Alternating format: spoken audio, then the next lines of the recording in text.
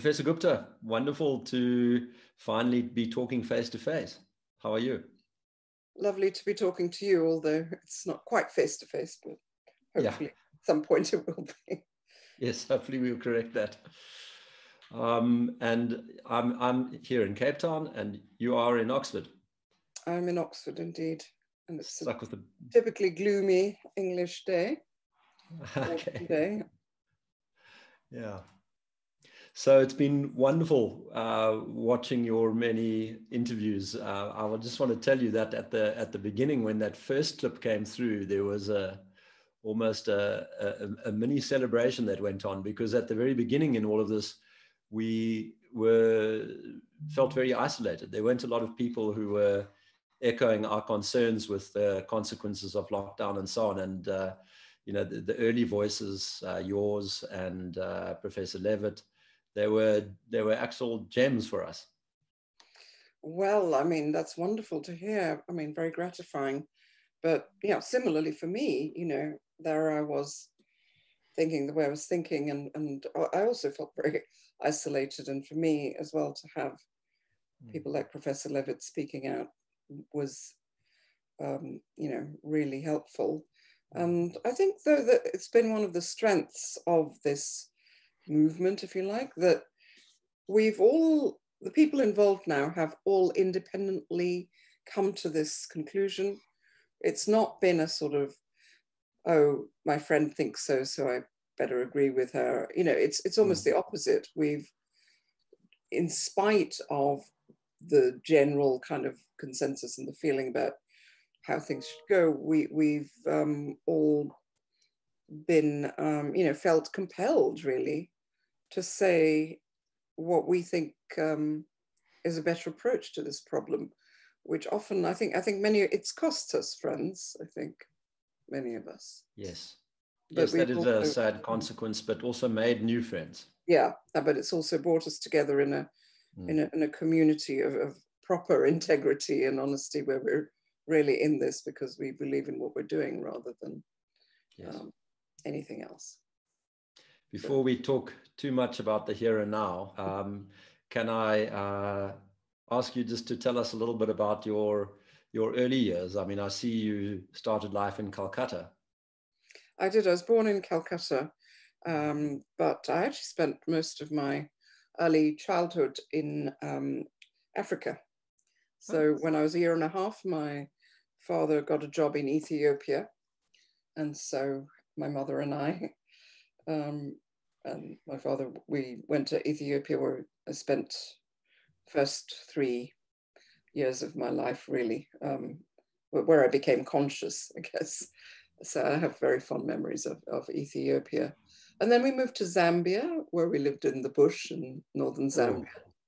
for, for three years, which uh, was just amazing. Whereabouts? Uh, in uh, the Luapula province. Oh, yeah. Um, so there was one of my favorite one of my favorite uh, destinations. I love traveling to Zambia. Well, the, this place was just idyllic. I mean, my parents were teaching in a, a girls' boarding school, uh, really in the middle of nowhere. Mm. And um, it's a very international community of teachers. And um, there were lots of kids under the age of five, like myself. And, and we just had such a fantastic time on our tricycles, roaming around in the elephant grass. Nobody seemed to mind too much. Maybe that's where some of my ideas, innate sort of feelings about risk come from. I mean, there's so much to be gained in life, which being locked up. I mean, if my parents had been worried about me then and locked me in the house while they went off to mm. teach, um, then I wouldn't have had that wonderful experience of great freedom one of my one of my favorite weeks in my life was there. I uh, I'm, I'm a enthusiastic uh, birder. All right. And uh, we went to explore a property uh, up against the DRC border, um, mm-hmm. and it it just to chart it out. So it, it, was quite a collection of people. There was a, a herpetologist and several ornithologists and a couple of very experienced field guides and uh, we were going through this Brachystegia woodland interspersed with uh, these vast razor grass dambos mm-hmm. and with islands in the middle, mm. and uh, blundering through the the grass to get get to, and the marsh to get to these islands. And it was the most amazing feeling when you set foot on them. You had this feeling like that you could be the first humans to to go there because who would be mad enough to brave the, the razor grass? And on the islands were, of course, these pristine uh, Brachystegia woodland environments oh, with uh, yeah, no. bird life and uh, insects and everything. I mean, it's just it was just glorious. It's just uh, idyllic, and yes, indeed, we used to cross what was then known as the Congo Pedicle. This is in the early seventies to get get to the rest of Zambia. So that was right. the way to. Of course, I, I remember that term. I haven't heard it for years. Yeah. Hmm. So, so that was my early, and then we spent a year in the UK because my father by then had become uh, really interested in African history. So we came back here while he did a, a, master's at Birmingham. And then we went back and spent three years in uh, Lusaka, which was yeah. not quite as exciting, but you know, a wonderful um, education that I got there. Um, and at the time, uh, many of my teachers were actually from South Africa who, who'd left South Africa. This is in the mid 70s, and, and would speak with such nostalgia about, particularly I had a teacher, um, Mrs. Fattar, who came from Cape Town. She'd speak with such nostalgia that I always wanted to visit Cape Town. And uh, very fortunately, early this year, I, I, was able to, to get to Cape Town. So. um, because in those days, of course, there was no way someone with an Indian passport. no, no ways at all. But in both directions, almost there was such hostility. Yeah. Um, and and how old were you when you worked out that you wanted to go into healthcare? Well, it's interesting because um, uh, uh, I think I th- there was part of me that wanted to be a doctor, uh, but then also part of me that didn't really want to uh, that, that wanted to spend time.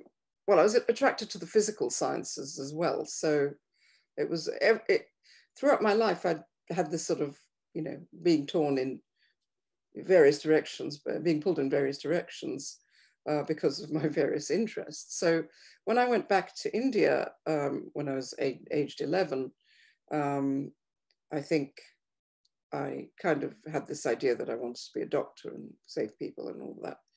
Uh, then I became very, very interested in uh, physics and mathematics and how you can apply mathematics to understand the physical world. Um, and that kind of became what I wanted to do academically, anyway. But, and then I ended up eventually at Princeton University, um, again through Africa. Hmm. My father in, in, in India taught, um, when we went back, he got a job at the university teaching African history. Always wanted to go back to Africa. So he we went just after I finished high school. We went to Liberia. I went to Liberia with my parents uh, on a sabbatical. So I did a year of university there, and then transferred to the states. Um, but in Princeton, because it had this sort of liberal arts education um, system, I was able to sort of pursue several interests. So I took classes in physics and maths and biology. I'm very interested in animal behavior. So while I was taking a course in animal behavior, I realized you could use maths to understand biological systems. And that drew me to that whole discipline. And then within that, infectious diseases became a kind of play, place where my original desire to do something in infectious disease and healthcare met with my interests in sort of theory and mathematics. So that's how I got drawn into it.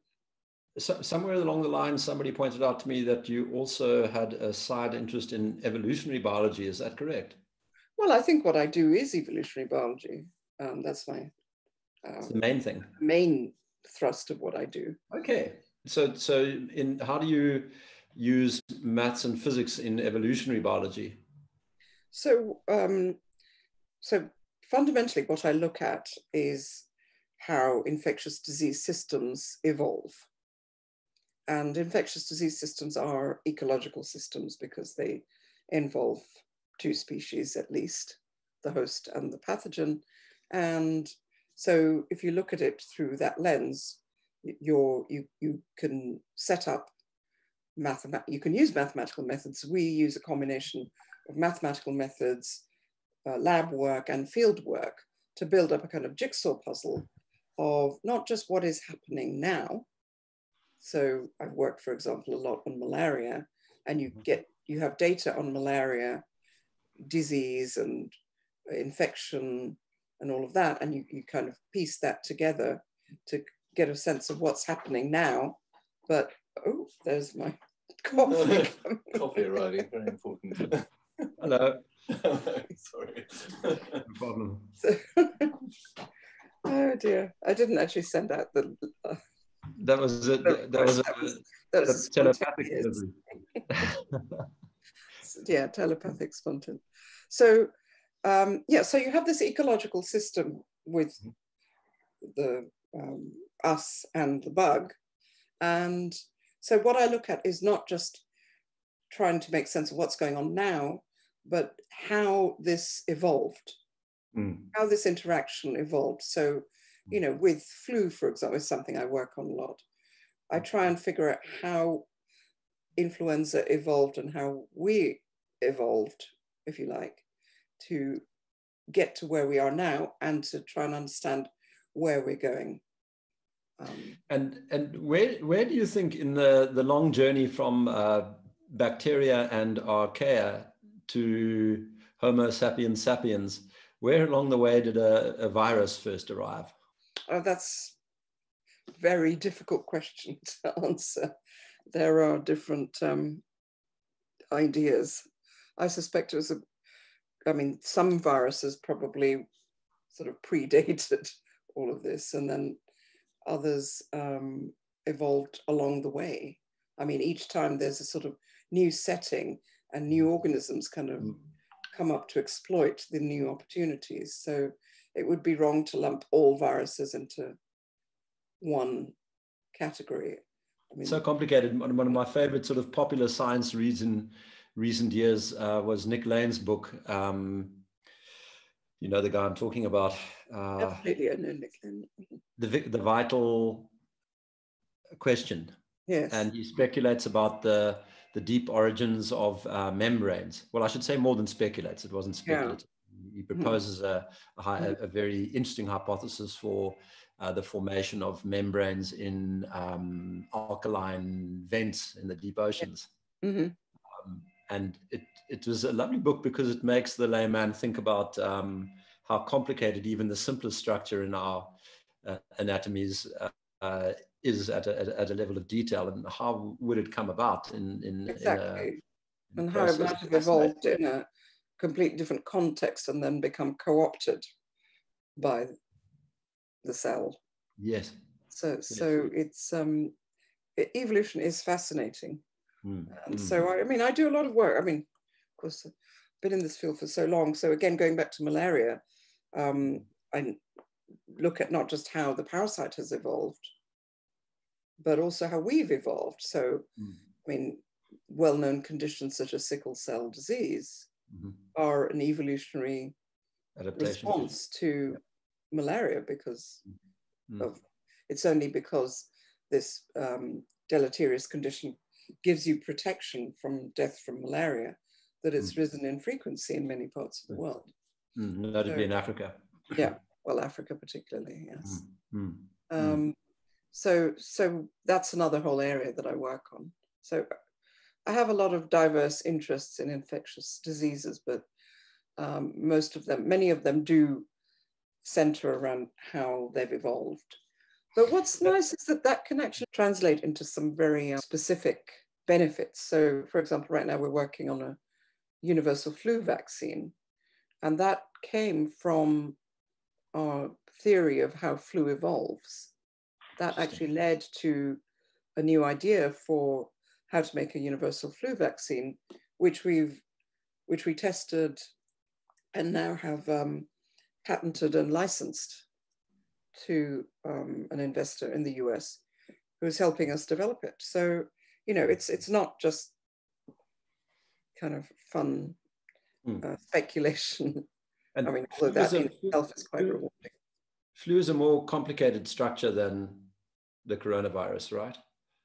Well, flu has, yes, it has the ability to mutate the parts that we recognize mm-hmm. um, and make immune responses to. So in a way that the coronavirus doesn't. Doesn't. So it so it's traditionally seen as a kind of arms race, the, the evolutionary mm-hmm. process. But the, a mm-hmm. model that we published about 15 years ago suggested that maybe it wasn't quite like that.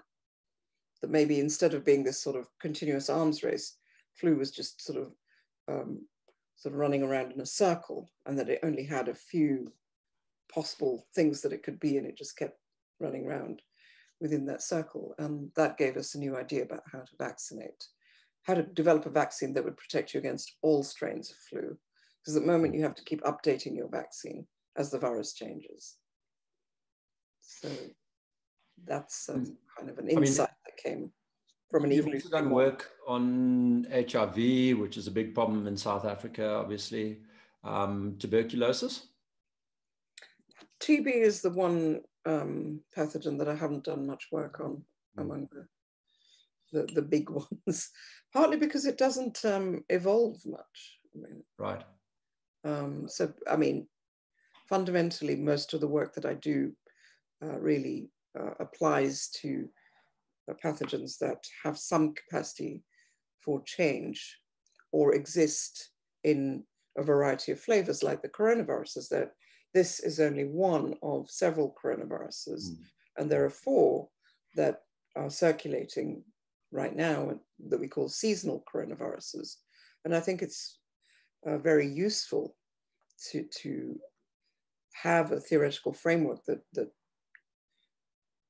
visualizes the current incursion of the coronavirus as occurring in this sort of ecological setting hmm. where you have these other four related bugs. Mm. That's a very important aspect of mm. this. Yeah, I mean, circulating, circulating and seasonal. If I could get the journalists in South Africa to agree agree upon upon two concepts, it would be those two. Yes. Because we, have got them all speculating and talking up a big scare story around a second wave that's going to hit South Africa starting in a few weeks, which is the middle of our summer. It right. makes no sense. No, that really doesn't make any sense. Yeah. I mean, that's not, I mean, if we're going to learn from precedent, mm. um, that's not what happened anywhere. We, we even have the head of our ministerial advisory committee saying this. So, I mean, it's just, it, it it's a pinch me moment. You know, uh, one of the staggering charts for me was the comparison of the the, the two big um, uh, North American uh, climatic regions, their uh, epidemi- epidemiological curves for uh, for COVID compared to the curves for SARS one. And I mean, you, you you'd have to look really hard to tell them apart. The mm-hmm. Uh, th- that fascinated me because I, I kind of had this intuition that um, it might be different the first time around when a new pathogen hits the scene. It might not go seasonal immediately. Mm-hmm. And I, I, clung to that idea for quite for way too long. It was actually mm-hmm. a mistake on my part. People were telling me, no, this is going to be seasonal. And it took me a long time to be convinced that this was something to be taken seriously. And I, I feel a bit bad about that because who was I to say in the first place? But um, the uh, that that chart of the, the the concordance between SARS-1 and SARS-2 um, was just a, a wake up moment. Well, I think the, it, it, does become seasonal, but it, you know, how long it takes to become seasonal mm. depends on a number of factors. Mm. And when one of them paradoxically is how quickly you lose immunity. So if you, if like measles, everyone becomes immune, gains lifelong immunity, you'll actually get more of this sort of, uh, you know, sort of deeper troughs and higher peaks on the way to it becoming seasonal.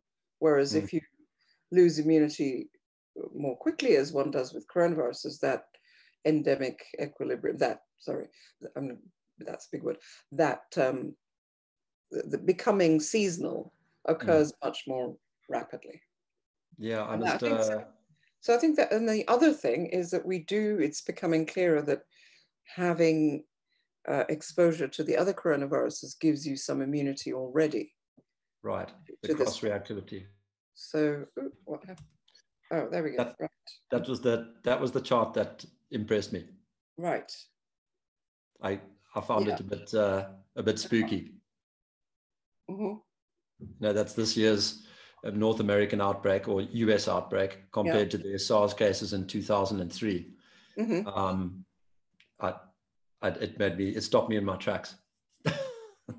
yeah, no, I, th- I think that um, I think there's a lot to be learned from comparing. I mean, the, the, the problem is we, we, make people are bound to make comparisons, but um, uh, they can be helpful and they can also hinder. So, right. of course, there's this sort of people's that there's a focus on this idea that there will be another great big pandemic, which is right. sort of a hangover from 1918. So that was a long time ago. And I think that what's really changed between then and now is that now we don't have communities that live in complete isolation. So the overall level of exposure to influenza in any community in the world is um, is much higher than it was in community high. And how much do you think it had that outbreak had to do with the the kind of febrile state of the world? Um, and uh, I, I, mean, because I, I, I remember being told when I was young that that uh, influenza epidemic had killed a lot of young people, and um, I, it it sort of seems to me it must have been the case that the years of stress and probably poor nutrition during the war uh, must have had something to do with the scale and severity of that outbreak. So I think, I mean, people have tested that um, yes. but not found much of a signal. Uh, so, for example, they've compared were there more deaths in soldiers, were there all of that, and it's hard. But I have a theory which um, I've been touting for a while, but it is difficult to prove or disprove. But I think what happened prior to 1918 is that because of the way the world was structured, epidemics or pandemics tended to sweep through and die out because you know the population densities were low people didn't travel all the time so the entry you know likelihood of flu coming and taking off in the UK for example was was very low until mm. 1918 and if you look back at the history of mm-hmm. so-called, you know, what people call flu pandemics. Mm-hmm. They are they occur regularly every 30 years or so. Mm. There was one in 1890. There was mm-hmm. the one before that, I think, was sort of more in the 1840s. Um, and then again in the early 19th century. And you can have, you see this regular pattern stretching all the way back to sort of 1590 or something. Um, so my theory is that between 1890 and 1918, there was no flu around in England, in the UK, right. lots of Europe anyway. So, so people didn't have the uh, the immunity or the immune response that they would have nowadays, typically. Exactly, so, and and precisely that cohort. Have you? Can you speculate? Were not immune, and they yeah. died. Yeah. Can, can, can you speculate about this well, to me, it's a mystery anyway about why uh, neonates are infected by the flu, but apparently not by COVID. Oh, they are infected by COVID, and they have a, a so with the other seasonal coronaviruses, it's a very similar pattern. They yeah, so mm-hmm. I was using the word affected, meaning they're not dying from it like oh, yeah, they yeah. do. Yeah, yeah. So they get infected by the age of 5 mm-hmm. Everyone's had all the mm-hmm. seasonal coronaviruses typically, and they do die.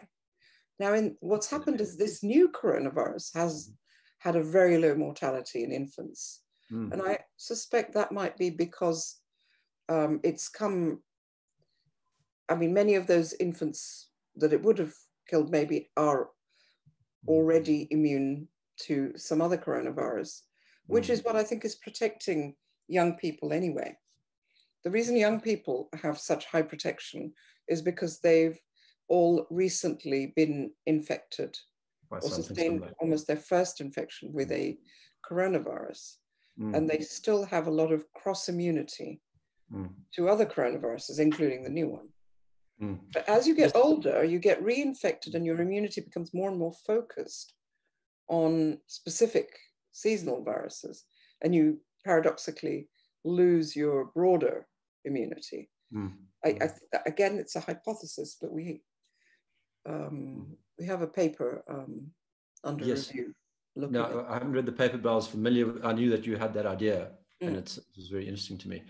Um, the, the the related question is the naming of this virus. Uh, that original naming paper um, made the point that they didn't want to call it SARS because, particularly in Asia, that conjured up uh, an idea of terror, um, and they didn't want to cause a panic.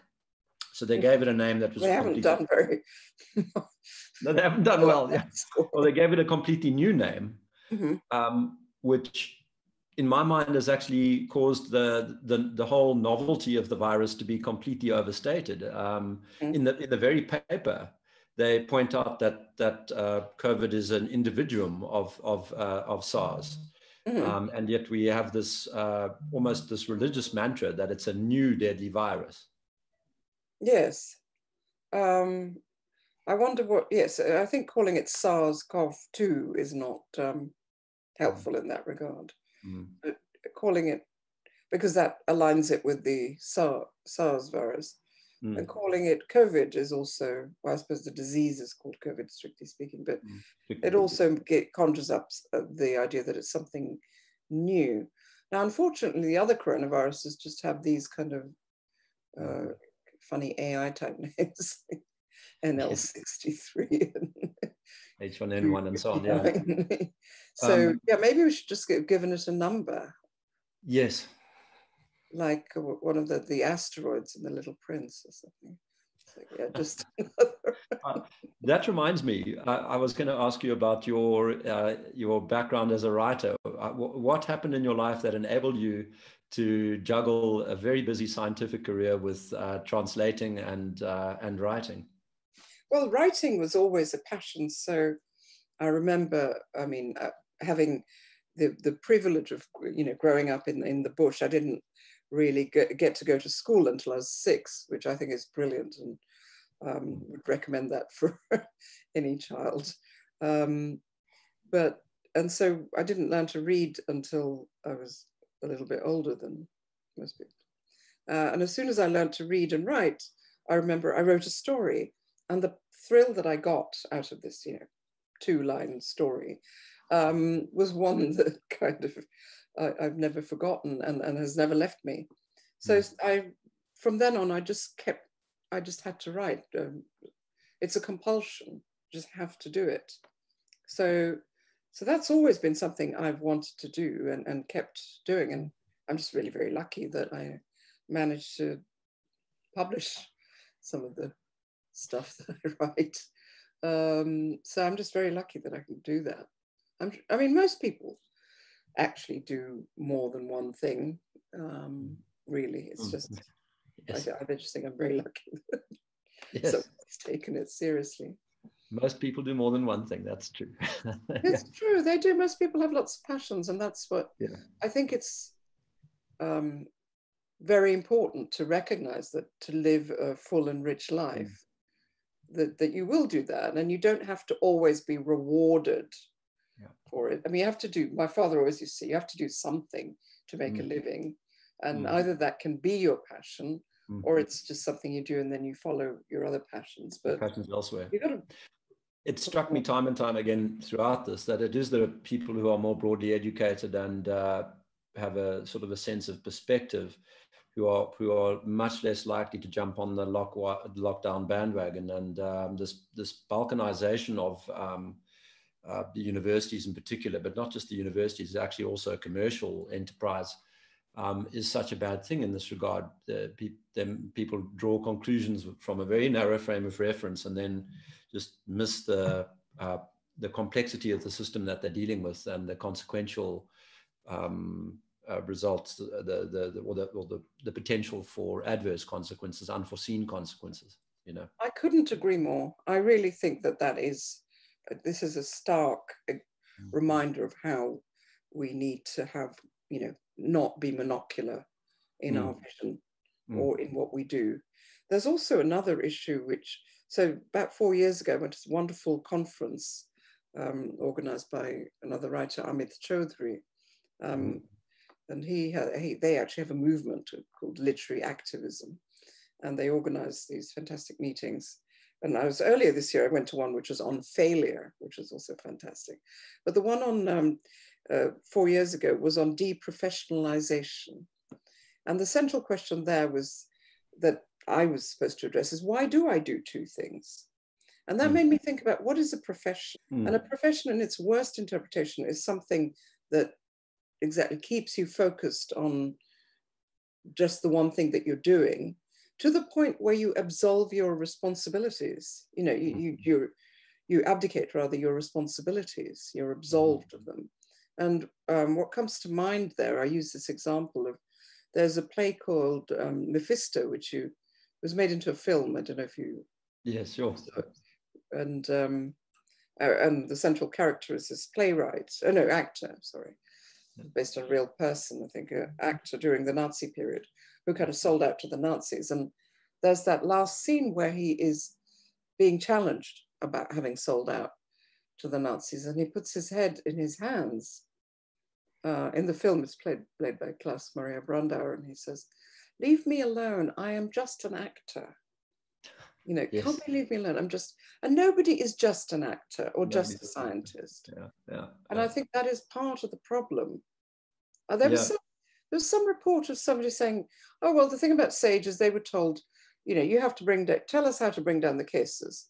And so they came up with this idea of suppression. Yeah. And that was their job, and that's what they did, and it's not their job to do anything else. And you just think, really? Yeah. Is, is that how we're going to? Oh, and, you know, I, I, took the approach from the very beginning to just go massively diverse in the people uh, in Panda. Mm. Um, because it, the complexity is overwhelming. There, there's no um, there's no end to uh, the, the proliferation of problems in the problem set and no end to the usefulness of having the, the field doctor, you know, with yeah. an immunological background mm-hmm. talking to the modeler, you know. Absolutely. Um, but with yeah. humility, with humility. Well, the, the, the, thing for me, humility, if you get enough excitement around curiosity, mm-hmm arrogance and humility is just not in the room because people are excited to be engaging and exploring and are learning from each other and so the the personal is lost i mean i i, I play this game in business all the time of trying to alienate the the origin the the new idea from from the creator of the idea as quickly as yeah. possible but, yeah. but often by devilish means like false attribution you know mm-hmm. um, uh, because it's just so important if you want to get that spirit mm-hmm. of the, that zip of curiosity uh, burning burning ingenuity kind of thing, yeah. sparkle, elect- electricity. You, you've got to do it in an environment where the, the ownership is lost very quickly and, and the, the problem becomes much more interesting than the potential for personal gain, you know? Absolutely. And this is what's lost in academia. This is yes. where academia has started to fail us. Yes, yes, I, I, totally agree. I mean, we had it right at the beginning when we started questioning our local modelers. We were saying to them, you've got you've overestimated the fatality rates, you've overestimated the susceptibility. Mm-hmm. Um, you need to be not thinking in terms of serology levels of 60, 70%. percent mm There's other layers to the immune system that are important mm-hmm. here. Mm-hmm. And you need to think about the peaks and seasonality eventually be added to that list. The peaks, you, you're projecting yes. peaks out in October, they're going to come June, July. Mm-hmm. Um, we made all these points. And the reaction wasn't to address any of them. The reaction was to say, you guys are, depending on who you were speaking to, not epidemiologists or not healthcare actuaries, you know, uh, well, depending on the what I've received, which is that I'm in the pay of libertarian think tanks. Ah, yes, uh, that's funny that we also had this libertarian angle thrown at us, and mm. I, I, we haven't got a single. I mean, not that I think there's anything particularly um, uh, wrong with somebody being a libertarian, but we haven't got a single person in the team who I think would really identify as a libertarian uh, but it was a constant refrain alt right, libertarian, whatever. Yeah. You know? I mean, I think there are, it depends on how you interpret libertarian. I mean, uh, but I, and the other thing is to distinguish it from people who happen to be right wing and liberal. That doesn't make them libertarian. Yeah. Um, and I don't think that it matters, you know, this is an issue that transcends.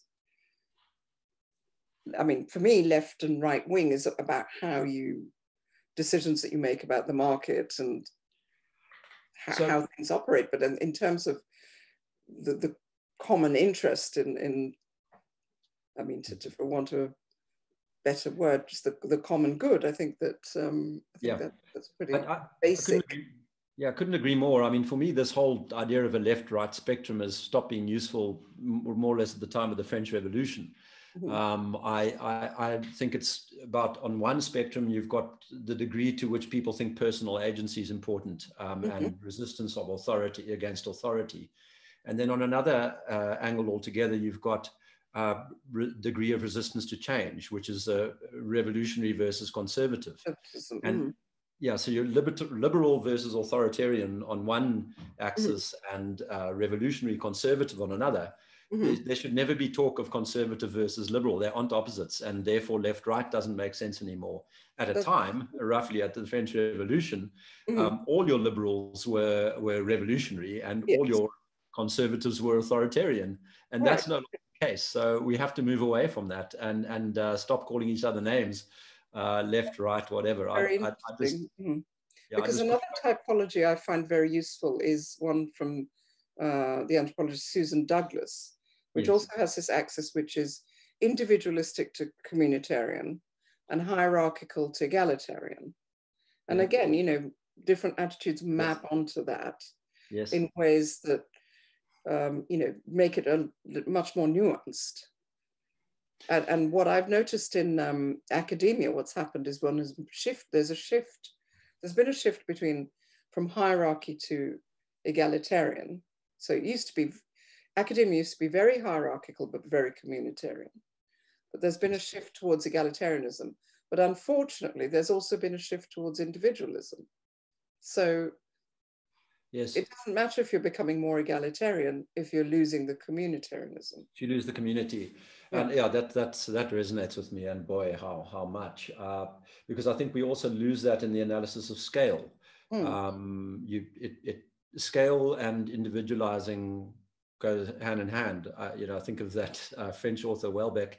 uh, mm-hmm. writing about atomization and and how the, people just become completely alienated when when there is no uh, community to be felt. Um, mm-hmm. And uh, I, I, think that's a real problem of the age. Um, yeah. yeah. Uh, fascinating. Um, I, I, it just struck me um, as, from talking now from an epistemological perspective I'm, I'm very enamored of the Popperian uh, uh, mm-hmm. approach to, to science, and that that emphasizes evolution, um, and it, it sort of makes one mindful all the time of the complexity of systems that you're dealing with and the difficulty in wholesale redesign or uh, causal structuring of, of a complex system. It makes one sort of humble about the approach to which you will go tinkering with something, whether it's a a climate or a human body or a, an economy. Um, this would be my kind of starting point is to is to say, well, let's see if you can make a change on the margin and try and detect whether it's good or bad, and then keep going. And and in a way, that that is kind of an, an epistemological uh, defense of uh, conservatism, and I don't mean it political conservatism only. I'm talking about general conservatism with response to pandemics or mm. to a patient presenting with an illness, you know, uh, the first do no harm kind of principle. Yeah, exactly. But also embedded within that is this sort of idea of, uh, you know, to what extent does one rely on consensus? And that's become a big problem, I think, because somehow consensus. It's a strange concept in science, isn't it? It is a very strange concept, and yet it's being trotted out. Yeah. Uh, alongside, I mean, uh, alongside the term authority. Mm-hmm. Um, I, and I, I, I, always, so I might regard you as being um, having something to say that I would uh, uh, listen to much more carefully than than uh, perhaps uh, uh, the opinion of a businessman with respect to the virus.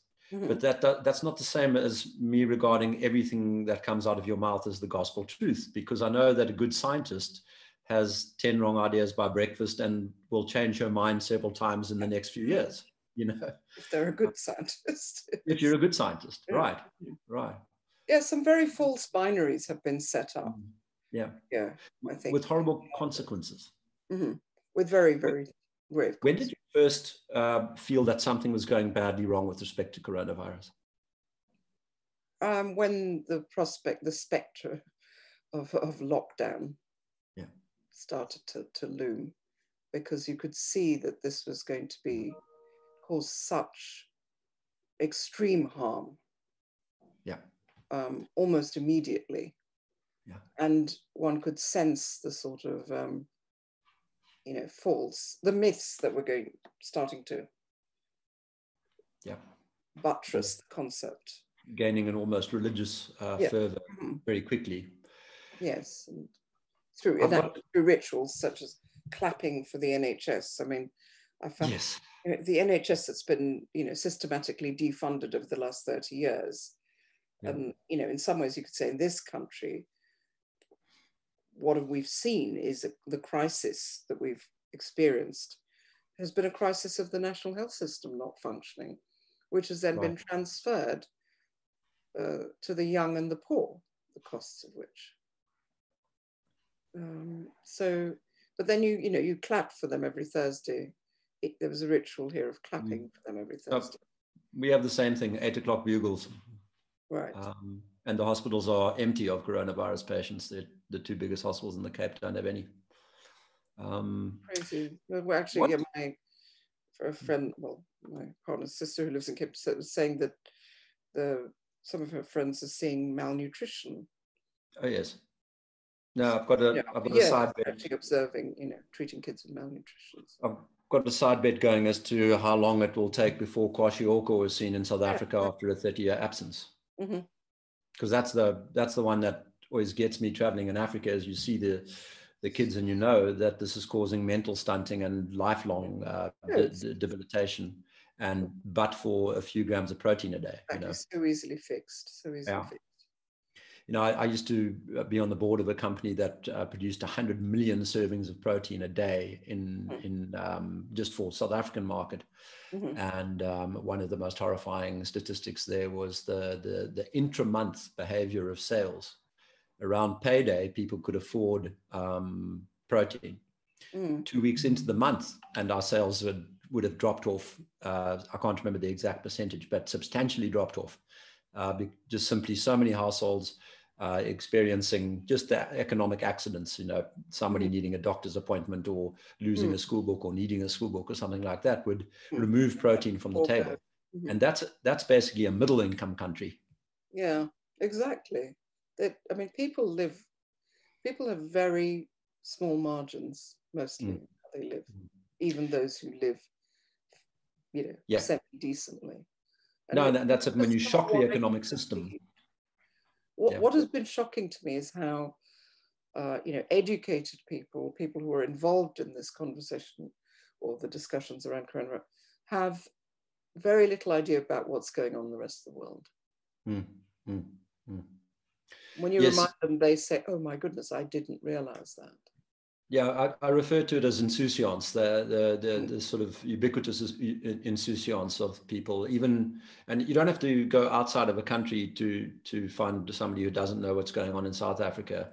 But the way in which these um, academics and politicians and businessmen sit behind their Zoom screens, uh, uh, prescribing, you know, quite devastating deprivation left, right, and center for millions of people at a time. Um, and, and imagining that some kind of machine printing money would actually paper over those problems is just yes. stagger has been staggering. It's, it's actually yeah. unbelievable. Yeah. And, and that the left has gotten behind this is particularly irking to me. Um, you know, the, the left wing papers are the biggest drum beaters here and they should all be on the other side of this. I mean, it, this is. I know. I mean, I, have been facing enormous problems with The Guardian. They keep yes. publishing really quite defamatory articles. Yeah. um, we've had it with the Daily uh, Maverick in South Africa mm. um, as well. Um, should be. And, um, you know, even today we asked them, would they entertain an op ed from us? Because they've not published a single op-ed or, or an interview with anyone from the other side. It's all invective and a lot of it of a very low grade, you know. Very low grade, yeah. Post, stuff posted on Twitter and uh, whatnot. I had, I had one. You know, I don't like to engage with Twitter. I, I, had, I had one uh, prepared question, which I thought I would leave to the end in the okay. spirit of uh, right. yes, the sparkle of creativity. Uh-huh. Um, and that is, I would like you to tell me, do you have a mystery um, about coronavirus that, you know, if you if you had the fairy godmother come down and, and uh, answer one question for you or, or, or solve one problem for you about coronavirus, what would it be? what would I like to know about the virus most? There's so many different things. I'm trying to think of yes. what. Let me give you some categories. Thing. Transmission. Hmm? No, I'm not. I, I, think the transmission is pretty um, straightforward. Mm-hmm. I was thinking. I mean, the obvious. I, I, am interested very much in the immune response. Mm-hmm. So I guess I, if if someone could tell me exactly. Mm-hmm. I mean, at the moment, what we're trying to do is infer what the immune response is and mm. how it develops and what part of it is directed specifically to this virus and mm. I guess yeah i mean if the, i think there's a big gaping hole in our knowledge of how the immune response mm. to the virus works um, and to what extent it protects you from mm. infection disease and death mm.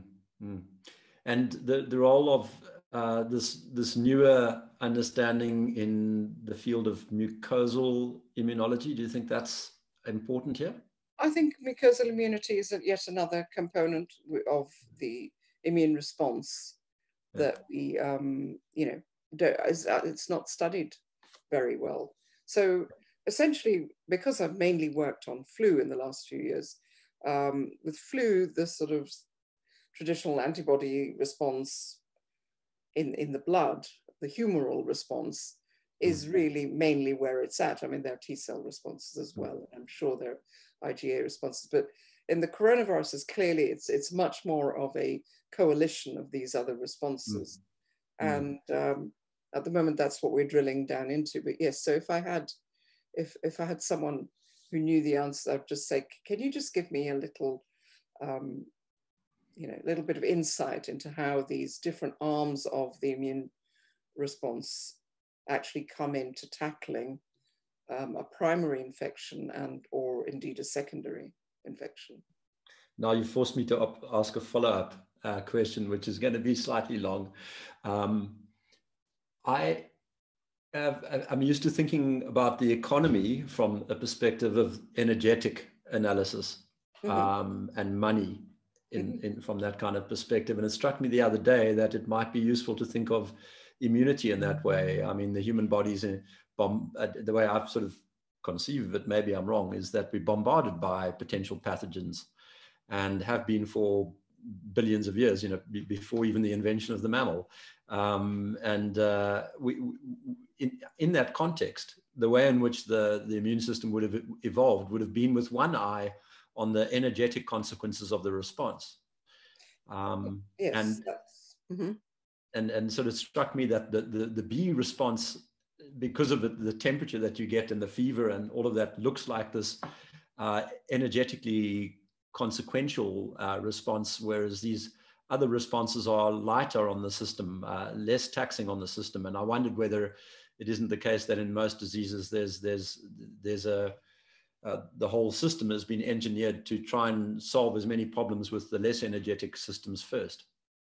Um, so the less energetic, well, so, so the primary, I mean, we have so many layers of defense.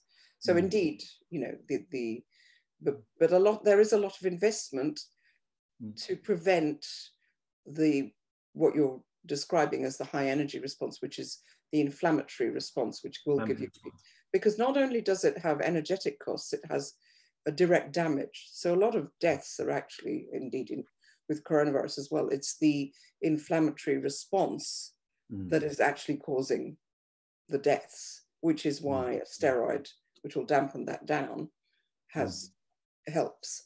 So so there are um, a lot of there is a lot of investment within the immune system to mm. try and contain the response so that it doesn't um, have a high cost, the response itself. But then mm-hmm. also the whole system is has evolved to be as efficient as possible. And this is why the antibodies disappear from the blood because mm.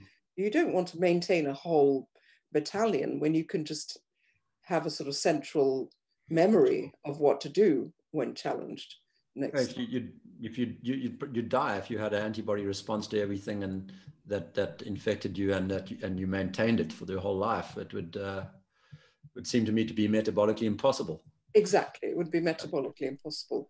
But that there have been studies about um, the trade-off between immunity and reproduction in other organisms where it becomes relevant. In our case, I think we, we have enough energy to, to deal to do both so that they're not one doesn't affect the other wow.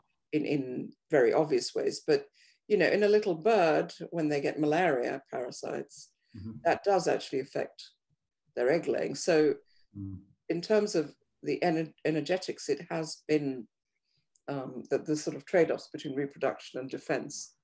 Uh, there has been a lot of work done on that, but mm. I don't think it applies really at that level um, to humans. But it's certainly a, a running theme. I'm very pleased that you brought the birds back into it. Um, I, I, have got my favorite question, which I just wanted to see if you had any theories on. But the, the staggering thing for me from the start has been the, the um, the, the geographic variance in disease burden that we mm-hmm. could not explain with average age, comorbidity prevalence, and obesity prevalence, which are the only three really relevant uh, mm-hmm. factors. A small effect for prior season uh, influenza severity um, mm-hmm. or respiratory disease severity. Mm-hmm. Uh, but what do you think is going on with um, that, the Asian uh, light epidemic relative to the Americas, for example? Um, okay, well, I mean, there are, of course, fundamental ways of delivering healthcare. Mm. So in hmm. Japan, for example, I think that, um, you know, there's just better, and many other countries, that better infection control, uh, I think has played an important role. But so that's at a practical level. But I think on a more speculative front, I think um, exposure to other coronaviruses could play a significant role. And this, there's an interesting paper that's come out, I think, in Scotland, where they've looked at healthcare workers and shown that healthcare workers who have children in their household are much less likely to be hospitalized for coronavirus. Wow. And this goes up with the number of children in the household. It scales, I think, almost linearly with the number of children. So I wonder if some of the vulnerable population uh, sectors of um, the populations in some of these countries where we have low death rates have benefited actually from child exposure. Yeah, so that's kind of turning the whole multi-generational, the risk of multi-generational families on its head. Mm. Wow. so I wonder. I mean, this is, you know, I, I hesitate to say this as a kind of. Well, whatever the answer. These are things we need to, I think we need to investigate that because then mm. I hmm. think we can make some policy recommendations mm. for the hmm. future mm. for hmm. countries like the UK where you seal off the elderly, which A, creates this epidemic of loneliness, and then also keeps them, oh. you know, their, their immune systems are not challenged regularly enough to, to and the other thing, I, I mean, I, just automatically, one, one thing we should be learning is not to go with one size fits all policy responses because you don't get enough variation to test with. You know? Exactly. Well, there's um, that. Well, thank God. I almost, almost celebrated when they failed to produce a federal response in America because you immediately knew you were going to get 50 different experiments run. Exactly. You know? um, and and uh, th- that couldn't be a bad thing. Um, we no. were going to learn something in the process. Absolutely, and we yeah. did.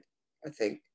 Well, our, our, our, half hour, a half hour has turned into an hour, which is going to leave my editors furious with me. I've done a terrible no, job. That's great. I love it. I love it when they take all the rubbish that you've said and then collapse it into something really coherent and articulate. Well, I haven't heard too much rubbish coming out of your mouth. So uh, thank you very much. It's been a real it's pleasure. A pleasure. Wonderful. I wanted to thank you for serving on Panda's Scientific Advisory Board. It's wonderful to have you with us for that journey. And um, I hope indeed to correct the absence of a true face to face meeting at some stage. Absolutely. But let's be in touch meanwhile. Thank you very much, Professor Gupta. Bye bye Thank you. Okay.